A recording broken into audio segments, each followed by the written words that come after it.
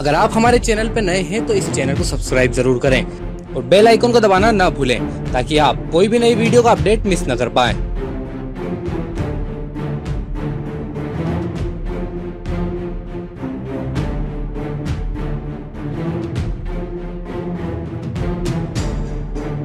कभी आपने फेसबुक या किसी और सोशल मीडिया प्लेटफॉर्म पर मोदी जी के खिलाफ कुछ लिखा हो और एक ही बार मधुमक्खी की तरह लोग आप पर गालियों की डंक लिए टूट पड़े हों तो घबराइए मत।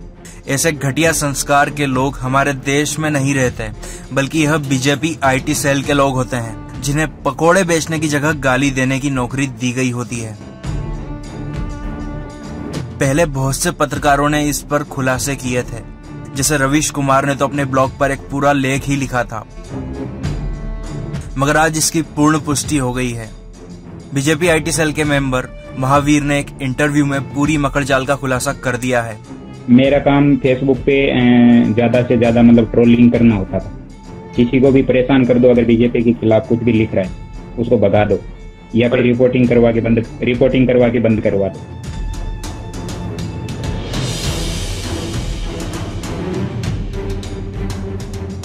महावीर के अनुसार ये आईटी सेल 2012 से पार्टी कार्यालय से लेकर प्रखंड स्तर तक सक्रिय है।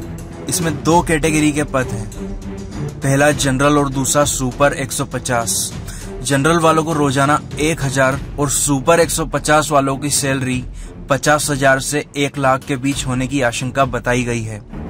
इन सब का काम सोशल मीडिया प्लेटफॉर्म के लिए झूठे कंटेंट तैयार करना है। और इसे फेसबुक ट्विटर जैसे प्लेटफॉर्म पर पब्लिश करके इन्हें ट्रेंड कराना है। सोशल मीडिया पे फेसबुक पे ऐसी हालत हो चुकी है इस टाइम पे आज 2018 में कि आप मुसलमानों के समर्थन में एक भी पोस्ट डाल दी ना एक भी पोस्ट की। फलाना मुसलमान अच्छा है अब्दुल कलाम अच्छा था उदाहरण के लिए मैंने ऐसी पोस्ट डाल दी। तो आपको समाज द्रोही जाति द्रोही धर्म द्रोही गद्दार फलाना ढिमका सब कुछ घोषित करने के लिए बीजेपी आई टी सेल वाले तुरंत टूट पड़ेंगे आप पर। इनका दूसरा काम विरोधियों को चिन्हित करना तथा गाली गलौज से उन्हें ट्रोल करना है, तथा बीजेपी के खिलाफ लिखने वालों के अकाउंट को गलत रिपोर्टिंग करके बंद कराना है। फेसबुक पर कुछ दिनों के लिए आपका अकाउंट बंद हो गया हो तो आप समझ जाइए किसका काम होगा। यूट्यूबर ध्रुव राठी को महावीर ने अपना यह इंटरव्यू दिया है और खुद को 2012 से 2015 तक आईटी सेल का मेंबर बताया है। महावीर ने बताया कि सुपर 150 को मोदी से मिलने का अवसर भी प्राप्त होता है। महावीर ने बताया कि आईटी सेल में काम करने वाले हर सदस्य को एक लैपटॉप के साथ 10-10 स्मार्टफ़ोन दिए जाते हैं। एक आदमी को एक झूठी खबर कम से कम 50 बार ट्वीट करना होता है।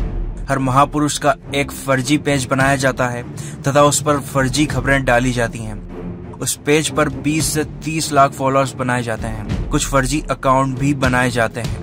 जिन पर खोज खोज कर धार्मिक भावनाएँ भड़काने वाले पोस्ट डाले जाते हैं। इतना आपने ना किसी मुसलमान से फेसबुक पे लाइव में भी अगर बात कर ली ना तो आपको पाकिस्तानी एजेंट घोषित कर दिया जाएगा। जबकि पाकिस्तान का बंटवारा इन लोगों ने किया था आर एस में मेरे पास तो अभी है ना जब मैंने आईटी सेल का भांडा फोड़ करना शुरू कर दिया ना तो मेरे पास एनडीटीवी एबीपी के लोगों के भी फ़ोन आ रहे हैं। लेकिन मैं वहाँ जाना नहीं चाहता एनडीटीवी एबीपी पे क्योंकि वहाँ की मीडिया के लोग भी लगभग इधर उधर से पेमेंट करके संपर्क कर लेती है पार्टी में। उनको तो पैसे से धंधे से टीआरपी से मतलब है। आम आदमी से कोई मतलब नहीं।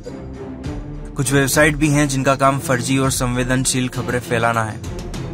पिछले दिनों एक ऐसे ही फर्जी खबर छापने वाले वेबसाइट के संरक्षक को कर्नाटक पुलिस ने पकड़ा था, जिसका सीधा संबंध मोदी से निकला था। मोदी जी ट्विटर पर उसको फॉलो करते थे। महावीर के इस इंटरव्यू के बाद बीजेपी आईटी सेल वालों ने यूट्यूबर ध्रुव राठी के खिलाफ पुलिस कंप्लेंट भी कर दी है। अब देखना है आगे क्या होता है।